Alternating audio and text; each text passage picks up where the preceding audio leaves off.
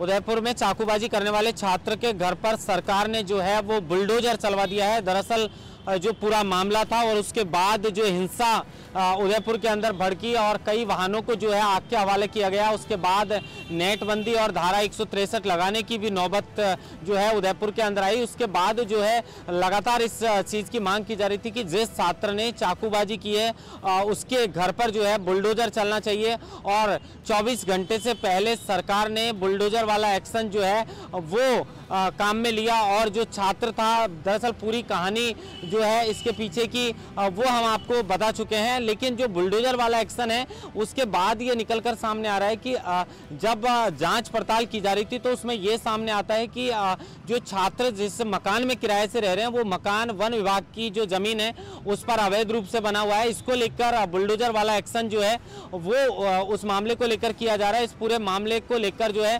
सचिन पायलट का भी बड़ा बयान सामने आया। जब भी देश प्रदेश में कहीं ऐसी घटना होती है, चिंतित हम लोग होते हैं। और मैं तो कहता हूँ छोटी मोटी घटनाओं को इतना बड़ा रूप जब मिलता है तो सरकार को जड़ तक जाना चाहिए कौन वो लोग हैं जो इन भड़काने वाली भावनाओं को और ताकत देते हैं। लॉ एंड ऑर्डर राज्य सरकार की ज़िम्मेदारी है और उनको सख्ती से निपटना चाहिए। पायलट ने कहा है कि हिंसा फैलाने वालों को किसी तरीके की जगह नहीं होनी चाहिए और जो हिंसा फैलाते हैं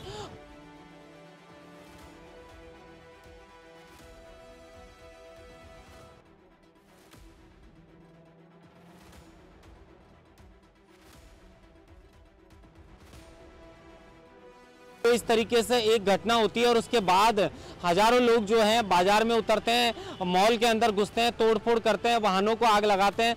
इस तरीके की घटना, वो एक चाकूबाजी की घटना के बाद इतना बड़ा रूप जो लेती है, आखिर कौन है?